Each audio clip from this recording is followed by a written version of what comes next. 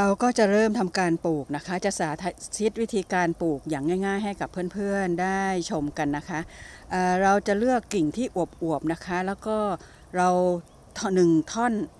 หนึ่งก้านเราจะเด็ดได้ประมาณ 3 ท่อนนะคะ คือท่อนหนึ่งประมาณ 5-7 เซนหรือเอ่อเด็ดประมาณความยาวประมาณ 1 นิ้วมือนะคะ แล้วเราก็ สามารถเด็ดได้เลยค่ะ ใช้มือเราเด็ดนี่แหละค่ะนะคะส่วนกิ่งหรือใบที่มันเน่าๆเราก็เอาออกเสียนะคะ แล้วเราก็เอาส่วนที่จะเกิดรากคือส่วนที่ปลายนะคะ ส่วนปลายของก้านนะคะ ปักชำลงไปในดินเลยนะคะค่ะเราต้องเลือกส่วนที่เป็นมีมีตาใบนะคะ เพื่อที่จะเวลาเขาจะงอกเขาจะ แตกแขนงได้เป็นพุ่มฟูสวยนะคะ เราก็ปักลงไปในดินนะคะ แล้วใช้มือสองข้าง มือกดเบาๆนะคะ หลังจากนั้นเราก็เอากิ่งต่อต่อไปนะคะ กิ่งที่เราเตรียมไว้นะคะ ความยาวเท่าๆกัน ปักให้ห่างกันประมาณ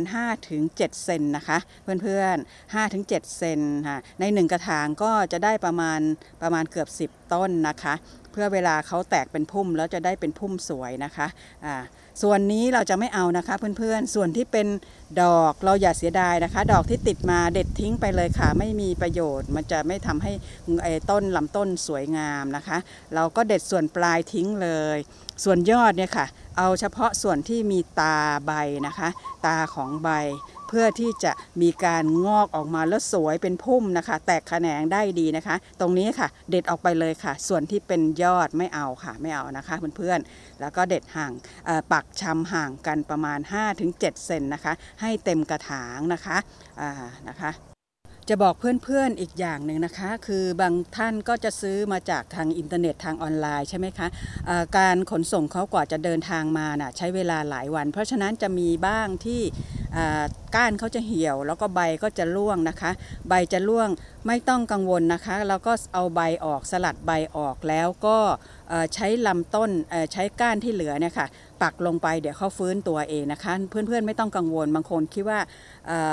กลัวจะเน่า แต่ถ้าหากอันไหนที่เน่าจริง ๆ ก็เอาทิ้งไปนะคะเพราะว่ากว่าจะขนส่งมาถึงเราก็ใช้เวลานาน หลังจากที่เราปักชำไว้ในกระถางเรียบร้อยแล้วนะคะ เราก็จะงดการรดน้ำเราจะเว้นไปเลย 2 วันนะคะ ไปรดเอาวันที่ 3 เพราะว่าเรารดไว้ชุ่มแล้วใช่ไหมคะ เพราะว่าการที่ถ้าเกิดมีน้ำแฉะเกินไปจะทำให้รากเน่าได้นะคะอ่าแล้วก็เอาไว้ในที่ร่มรำไรนะคะ กึ่งแดดกึ่งร่มประมาณสัก 5-7 วันนะคะ เพื่อที่จะให้รากเขาได้งอกก่อนนะคะเพื่อเพื่อเพราะว่าถ้าเกิดว่ารากเขาไม่แข็งแรง หรือรากเน่าแล้วนะความแข็งแรงหรือการเจริญเติบโตเขาก็จะหยุดชะงักไปนะคะ เพราะฉะนั้นเราแล้วจึงยกออกไปไว้ที่แดดนะคะ เพราะว่าเขาชอบแดดนะคะ อย่าลืมว่าแพรเซี่ยงไฮ้หรือดอก คุณนายตื่นสายเนี่ยเขาชอบแดดนะคะ หลังจากนั้นเราก็จะรดน้ำทุกๆวันนะคะ วันละหนึ่งครั้งไม่ต้องชุ่มมากนะคะ ตอนเช้ารดทุกเช้าก่อนที่จะออกดอก เพราะว่าดอกเขาจะออกตอนสายๆใช่ไหมคะ เพราะฉะนั้นเราต้องรดตอนเช้าเลยนะคะ